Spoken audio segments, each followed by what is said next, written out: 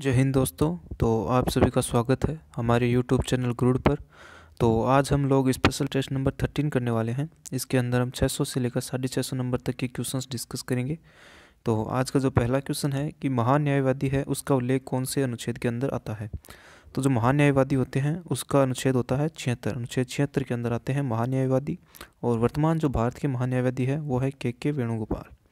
के के जो वेणुगोपाल जी है ये वर्तमान में महान्यायवादी के पद पर स्थित है। ठीक है? अगला क्वेश्चन है, मुख्य चुनाव आयुक्त का कार्यकाल कितना होता है? तो जो मुख्य चुनाव आयुक्त होता है, मुख्य चुनाव आयुक्त होता है, उसका कार्यकाल होता है छः वर्ष। छः वर्ष होता है मुख्य चुनाव आयुक्त का कार्यकाल और छः वर्ष से लेकर पैंसठ वर्ष तक इनका कार्यकाल चलता है। और वर्तमान में अगर पूछे मुख्य चुनाव आयुक्त तो ये है सुशील कुमार चंद्रा।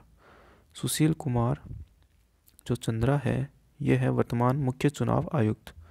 अगला क्वेश्चन है, स्थायी सदन कौन सा होता है? तो स्थायी सदन जो होता है, वो होता है राज्यसभा। राज्यसभा को स्थायी सदन कहते हैं और राज्यसभा का अनुच्छेद है अनुच्छेद अस्सी। अनुच्छेद अस्सी के अंदर है राज्यसभा। अगला क्वेश्चन है, संचित निधि कौन से अनुच्छेद के अंदर आती है? तो संचित जो निधि है, वो अनुच्छेद दो सौ छियासठ जो होता है, इसके अंदर संचित निधि आती है। संचित निधि आती है दो सौ छियासठ अनुच्छेद के अंदर। अगला क्वेश्चन है, न्यूनतम जो जनसंख्या घनत्व है, वो किस राज्य के अंदर है? तो न्यूनतम जनसंख्या घनत्व है, यह है अरुणाचल प्रदेश के अंदर। अरुणाचल प्रदेश के अंदर है न्यूनतम जनसंख्या घनत्व। अगला क्वेश्चन है जीएसटी कब लागू हुआ था? यानी जो वस्तु और सेवा कर है, इसका जो हिंदी के अंदर जो फुल फॉर्म होता है, वस्तु और सेवा कर, वो कब लागू हुआ था? एक जुलाई 2017 को। और ये कौन से संविधान संशोधन के अंदर आता है? तो ये आता है 101 जो संविधान संशोधन है 101वां जो संविधान संशोधन है, इसके अंदर जीएसटी को शामिल किया गया था।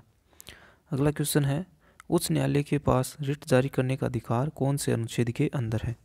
तो उच्च न्यायालय जो हाई कोर्ट होता है, इसके अंदर, हाई कोर्ट के अंदर रिट जारी करने का अधिकार है, वो होता है 226 अनुच्छेद के अंदर, अनुच्छेद 226 के अंदर। अगला क्वेश्चन है वन्य जीव संरक्षण अधिनियम किस वर्ष का है? तो वन्य जीव दो वन्य जीव संरक्षण अधिनियम है यह है उन्नीस सौ बहत्तर का। उन्नीस सौ बहत्तर का है वन्य जीव संरक्षण अधिनियम। अगला क्वेश्चन है, भूमध्य सागर का प्रवेश द्वार किसे कहते हैं?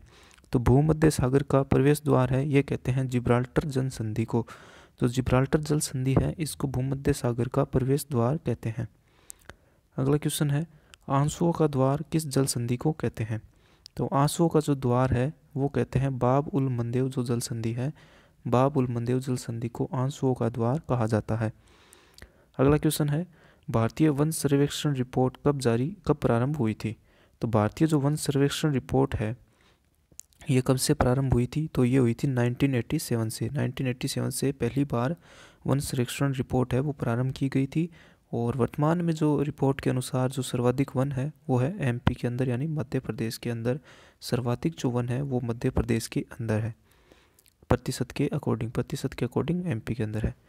अगला क्वेश्चन है पार्सेक किसका मात्रक है? तो जो पार्सेक होता है, ये होता है दूरी का, और दूरी का सबसे बड़ा मात्रक है पार्सेक सबसे बड़ा जो मात्रक होता है दूरी का, वो होता है पार्सेक पार्सेक सबसे बड़ा मात्रक है किसका? दूरी का। अगला क्वेश्चन है प्राथमिक रंग कौन से होते हैं? तो इनमें से प्राथमिक रंग कौन सा होता है? तो प्राथमिक रंग होते हैं, एक तो होता है लाल रंग और एक हरा रंग और एक होता है नीला रंग। ये तीनों प्राथमिक रंग होते हैं और इनको कहते हैं आर जी पी यानी रेड, ग्रीन और ब्लू। अगला क्वेश्चन है, रक्त कैंसर का पता लगाया जाता है। तो रक्त कैंसर अगर किसी को होता है तो उसका पता लगाने के लिए कोबाल्ट जो साठ है, इसका प्रयोग किया जाता है। कोबाल्ट जो साठ होता है, इसका प्रयोग किया जाता है रक्त कैंसर का पता लगाने के लिए। अगला क्वेश्चन है, रबर का वल्किनीकरण में किस, रबर के वल्किनीकरण में किसका प्रयोग किया जाता है? तो रबर के वल्किनीकरण के अंदर सल्फ़र का यानी एस का प्रयोग किया जाता है, सल्फ़र का प्रयोग होता है रबर के वल्किनीकरण में। अगला क्वेश्चन है, आरबीआई का वर्तमान गवर्नर कौन है? तो आरबीआई है जो रिज़र्व बैंक ऑफ़ इंडिया, इसके वर्तमान गवर्नर है, वो है शक्तिकांत दास। शक्तिकांत दास है जो आरबीआई के वर्तमान गवर्नर है। और आरबीआई की सर्वप्रथम स्थापना कब हुई थी? तो ये हुई थी एक अप्रैल 1935 के अंदर, मुंबई के अंदर स्थापना हुई थी आरबीआई की। आरबीआई की स्थापना कहाँ पर हुई थी? मुंबई के अंदर और कब? एक अप्रैल 1935 के अंदर। अगला क्वेश्चन है, सॉरी, इसकी स्थापना कोलकाता के अंदर हुई थी और कोलकाता के अंदर इसकी स्थापना हुई थी और वर्तमान जो मुख्यालय है, ये मुंबई के अंदर है। वर्तमान जो मुख्यालय है मुख्यालय है, ये है मुंबई के अंदर। मुंबई के अंदर है मुख्यालय वर्तमान में। अगला क्वेश्चन है, भारत में सुपर कंप्यूटर के जनक कौन है? यानी भारत के अंदर अगर सुपर कंप्यूटर के जनक पूछे तो वो कौन है? विजय भटकर। भारत के अंदर है विजय भटकर सुपर कंप्यूटर के जनक। और पहला जो सुपर कंप्यूटर था, वो कौन सा था? परम आठ हज़ार। परम आठ हज़ार जो था, वो पहला सुपर कंप्यूटर था भारत का। अगला क्वेश्चन है, सीमांत गांधी किसे कहा जाता है? तो जो सीमांत गांधी है, वो कहते हैं अब्दुल गफ़ार खान जो थे, अब्दुल गफ़ार खान को सीमांत गांधी कहा जाता है। अगला क्वेश्चन है, बोमडीला दरा कहाँ पर स्थित है? तो बोमडीला दरा है, वो किस राज्य के अंदर है? तो यह है अरुणाचल प्रदेश के अंदर। अरुणाचल प्रदेश के अंदर है बोमडी, बोमडीला दरा। अगला क्वेश्चन है, अटल सुरंग किस राज्य के अंदर है? तो अटल सुरंग है, वो किस, कहाँ पर स्थित है? तो यह है लद्दाख के अंदर। और लद्दाख वर्तमान में क्या है? केंद्र शासित प्रदेश है, वर्तमान में लद्दाख। अगला क्वेश्चन है अमृत महोत्सव की इस बार कौन सी वर्षगांठ है? तो अर्थ अमृत महोत्सव है, इसकी वर्तमान में पिचहत्तरवीं जो वर्षगांठ है वो मनाई जा रही है और अमृत महोत्सव की वर्तमान में कौन सी गांठ है? तो पिचहत्तरवीं गांठ मनाई जा रही है। अगला क्वेश्चन है आसियान का मुख्यालय कहाँ पर है? तो जो आसियान जो संगठन है इसका मुख्यालय है जकार्ता के अंदर और आसियान के अंदर कितने मेंबर आते हैं? तो इसके अंदर आते हैं दस सदस्य हैं वर्तमान में। और 2021 की जो बैठक थी, ये हुई थी बुरनई के अंदर। जो बुरनई है, इसके अंदर इसकी बैठक हुई थी 2021 की और इसका जो मुख्यालय वो है जकार्ता के अंदर। इंडोनेशिया की राजधानी है जकार्ता। अगला क्वेश्चन है, साल्मोनेला टाइफी से कौन सा रोग होता है? तो जो साल्मोनेला टाइफी है, इसके कारण टाइफाइड जो रोग होता है, ये हो जाता है साल्मोनेला टाइफी के कारण। और टाइफाइड का जो परीक्षण है, यानी टाइफाइड की जो जाँच है, उसे कहते हैं विडाल परीक्षण। विडाल परीक्षण टाइफाइड के अंदर किया जाता है। ठीक है? अगला क्वेश्चन है A F S B A यानी सशस्त्र बल विशेष अधिकार किस राज्य में लागू है? तो जो ए एफ़ एस बी है, यानी सशस्त्र बल विशेष अधिकार जो आर्मी को दिया जाता है तो ये किस राज्य के अंदर है? तो यह है नागालैंड के अंदर। नागालैंड के अंदर अभी वर्तमान में ये चल रहा है। और इसको पहली बार कब स्थापित किया गया तो ये किया गया था उन्नीस सौ अट्ठावन के अंदर पहली बार स्थापित किया गया था सशस्त्र बल विशेष अधिकार। अगला क्वेश्चन है, राष्ट्रीय मानवाधिकार आयोग का अध्यक्ष वर्तमान में कौन है? तो राष्ट्रीय जो मानवाधिकार आयोग है, एनएचआरसी, इसका जो वर्तमान अध्यक्ष है, ये है अरुण कुमार मिश्रा। अरुण कुमार मिश्रा जी है, जो कि राष्ट्रीय मानवाधिकार आयोग के अध्यक्ष है। अगला क्वेश्चन है लिपू लेक दरा कौन से राज्य के अंदर है? तो जो लिपू लेक दरा है, ये है उत्तराखंड के अंदर। उत्तराखंड के अंदर है लिपू लेक दरा और उत्तराखंड की राजधानी है देहरादून। उत्तराखंड की राजधानी कौन सी है? देहरादून। अगला क्वेश्चन है, कार्यस्थल पर यौन उत्पीड़न रोकथाम अधिकार किस केस के बाद आया था? यानी किस केस के बाद कार्यस्थल पर यौन उत्पीड़न रोकथाम अधिनियम है, जो कि कब आया था? 2013 के अंदर। और किस केस के बाद आया था? तो यह आया था विशाखा केस के अंदर आया था कार्यस्थल पर यौन उत्पीड़न रोकथाम अधिकार के द्वारा। अगला क्वेश्चन है, आपातकालीन हार्मोन किसे कहते हैं? तो आपातकालीन हार्मोन जो है, वो होता है एड्रीनलिन हार्मोन। यानी आपातकाल के समय जो हार्मोन रिलीज़ होता है, वो होता है एड्रीनलिन हार्मोन। अगला क्वेश्चन है, सबसे बड़ा दिन भारत में कब होता है? तो भारत में सबसे बड़ा जो दिन है, वो होता है 21 जून को। 21 जून का उत्तरी गोलार्ध के अंदर सबसे बड़ा दिन होता है 21 जून, और तभी भारत के अंदर उत्तरी गोलार्ध के अंदर है भारत। तो इसके कारण 21 जून को भारत के अंदर भी सबसे बड़ा दिन होता है। अगला क्वेश्चन है, राष्ट्रीय मतदान दिवस कब मनाया जाता है? तो जो राष्ट्रीय मतदान दिवस है, यह मनाया जाता है 25 जनवरी को। 25 जनवरी को राष्ट्रीय मतदान दिवस मनाया जाता है। अगला क्वेश्चन है, बादामी क्रांति किससे संबंधित है? तो बादामी क्रांति थी जो मसालों से संबंधित थी, बादामी क्रांति। अगला क्वेश्चन है, राष्ट्रीय महिला दिवस कब मनाया जाता है? तो अंतर्राष्ट्रीय महिला दिवस है ये तो मनाया जाता है आठ मार्च को। आठ मार्च को मनाया जाता है। और जो राष्ट्रीय महिला दिवस है, ये मनाया जाता है तेरह फरवरी को। तेरह फरवरी को मनाया जाता है राष्ट्रीय महिला दिवस। अगला क्वेश्चन है, रामसर सम्मेलन कब हुआ था? तो रामसर सम्मेलन है, ये हुआ था उन्नीस सौ इकहत्तर के अंदर और कब होता है? दो फरवरी दो हज़ार, दो भर, दो फरवरी उन्नीस सौ इकहत्तर के अंदर रामसर, जो कि ईरान के अंदर स्थित है, रामसर कहाँ पर है? ईरान के अंदर स्थित है और यहाँ पर रामसर सम्मेलन होता है दो फरवरी उन्नीस सौ इकहत्तर को। अगला क्वेश्चन है विश्व स्वास्थ्य दिवस कब मनाया जाता है? तो विश्व स्वास्थ्य दिवस है, ये मनाया जाता है सात अप्रैल को। जो सात अप्रैल है, इसको मनाया जाता है विश्व स्वास्थ्य दिवस। अगला क्वेश्चन है, ऑपरेशन विजय में कौन सा राज्य मुक्त हुआ था? ऑपरेशन जो विजय है, इसके अंदर जो गोवा है, इसके अंदर ऑपरेशन विजय चलाया गया था पुर्तगालियों को निकालने के लिए, और ये कब चलाया गया था? उन्नीस सौ इकहत्तर के अंदर चलाया गया था ऑपरेशन विजय। अगला क्वेश्चन है, बुद्ध धम्म और संघ मिलकर क्या बनाते हैं? तो बुद्ध धम्म और संघ है, वो त्रिरत्न बनाते हैं। यहाँ पर गिर रत्न नहीं होगा, यहाँ पर होगा त्रिरत्न। त्रिरत्न का निर्माण करते हैं बुद्ध धम्म और संघ मिलकर बुद्ध धम्म और संघ त्रिरत्न का निर्माण करते हैं।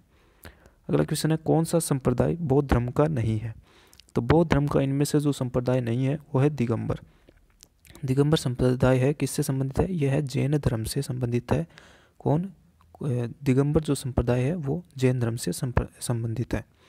अगला क्वेश्चन है भारत में जो जैन धर्म के संस्थापक हैं, वो कौन थे?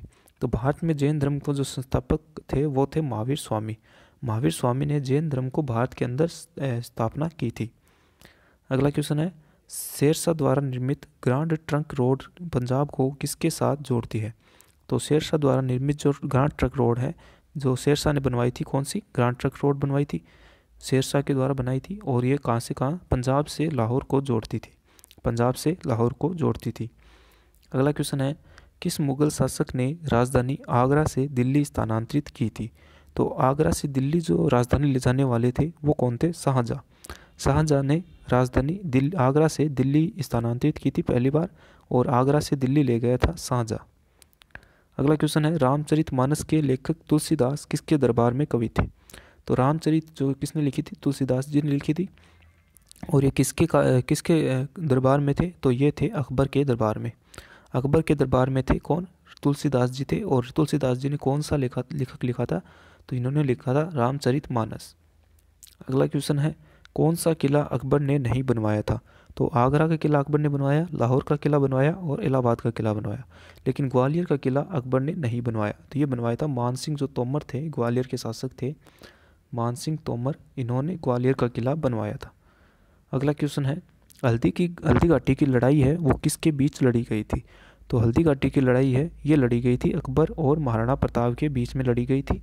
और कब? 18 जून पंद्रह के अंदर ये लड़ाई लड़ी गई थी। और कहाँ पर? हल्दी घाटी, जो कि राजस्थान के अंदर स्थित है। हल्दी घाटी के अंदर 18 जून पंद्रह को ये लड़ाई लड़ी गई थी। अगला क्वेश्चन है, नूर जहाँ का वास्तविक नाम क्या था? तो जो नूर जहाँ थी, इसका वास्तविक नाम था मेहरून निशा मेहरून निशा नाम था, नूर जहाँ का वास्तविक नाम। अगला क्वेश्चन है, भारत में सबसे ऊँचा पठार कौन सा है? तो भारत के अंदर जो सबसे ऊँचा पठार है, वो है लद्दाख का पठार। लद्दाख पठार है, भारत के अंदर सबसे ऊँचा पठार है। अगला क्वेश्चन है, प्रायद्वीपीय भारत की उच्चतम पर्वत चोटी है। तो प्रायद्वीपीय भारत की सबसे ऊँची जो चोटी है, वो है अनाईमुड्डी यानी अनाईमुडी दक्षिण भारत की या प्रायद्वीपीय भारत की सबसे ऊँची चोटी है, ये अनाईमुड्डी और इसकी ऊंचाई जो है, वो कितनी है? छब्बीस सौ पचानवे मीटर। छब्बीस सौ पचानवे मीटर इसकी ऊंचाई है और ये कहाँ पर है? पश्चिम घाट के अंदर स्थित है। पश्चिम जो घाट है, इसके अंदर स्थित है अनाई मुड्डी अगला क्वेश्चन है, लोनी और क्षारिय मृदा का भारत में एक और नाम क्या है? तो लोनी मृदा या क्षारिय मृदा जिसे कहते हैं, भारत में इसका एक नाम और है तो इसका दूसरा नाम है कलर मृदा भी इसको ही कहा जाता है। और इसका और नाम भी है, जैसे रे है, एक है, इसका उसर नाम है एक होता है राकर नाम होता है और एक होता है धुर नाम होता है इसका और एक इसको कहते हैं कर्ल कर्ल। और एक और नाम होता है चौपन। तो इतने नाम इसके होते हैं किसके? कलर मर्दा, लोनी मर्दा या छारी मर्दा के नाम होते हैं। रेह मर्दा, उसर मर्दा या राकर मर्दा या धुर मर्दा या कर्ल मर्दा या चौपन मर्दा। तो ये सारे इसके नाम है क्षारिय मर्दा के नाम है। किसके किसके नाम है? क्षारिय मर्दा के नाम है अलग अलग नाम है और भारत के अंदर इसका दूसरा नाम है कलर मर्दा। अगला क्वेश्चन है साइक्रोमीटर से क्या मापा जाता है? तो जो साइक्रोमीटर है, इससे मापा जाता है, आर्द्रता को मापा जाता है साइक्रोमीटर से। अगला क्वेश्चन है, भारत का सबसे सूखा भाग कौन सा है?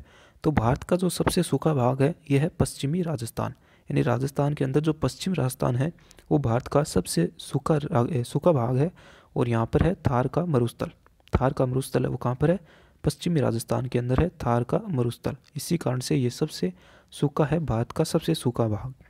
अगला क्वेश्चन है, भारत की जलवायु कैसी है? तो भारत की जो जलवायु है, यह है मानसूनी जलवायु। यानी भारत की जलवायु मानसूनी है क्योंकि यहाँ पर ऋतु परिवर्तन के साथ ही कौन सी ऋतु परिवर्तन के साथ ही वायु की दिशा में भी परिवर्तन हो जाता है, जिसके कारण यहाँ की जलवायु परिवर्तित होती रहती है मानसून के हिसाब से।